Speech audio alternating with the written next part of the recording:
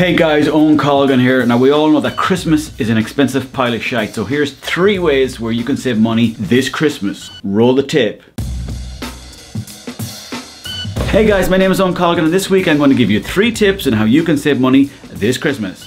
Tip number one, buy less gifts. People don't want stuff that they'll never use, lying around the house collecting dust. It's also better for the environment, so just don't bother buying people crap if they don't truly want it. Unless of course they explicitly ask for it, okay?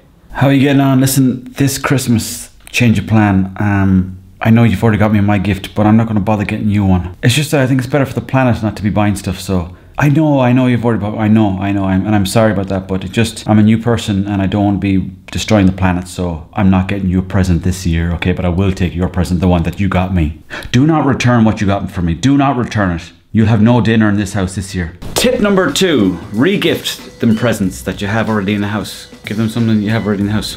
Throw it into a bag and give it to the brother. He won't know the difference, and if he does, fuck him. Hey, I got you a present. What did you get me? I got you a plant. You got me a plant. Do you want the present or not? Thought we already owned that plant. Huh? I got you a plant. Tip number three. We all know that decorations are expensive. That's why this year I have decided to hang up no Christmas decorations. That's right, nothing. Nothing at all. Couldn't be bothered. Sprouts. You know, sometimes it makes me sad when I think about Christmas. It used to be this wonderful time where families would get together and share presents and talk, get to know each other on a deeper level. Then that all changed. People got greedy. They became very individualistic.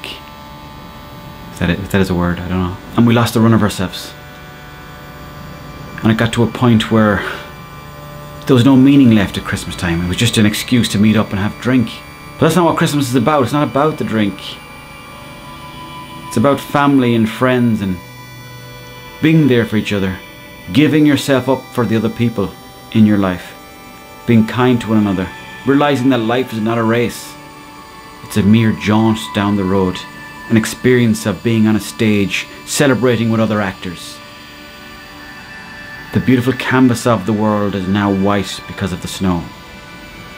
And this Christmas, I hope it's the best one you ever have. I love you.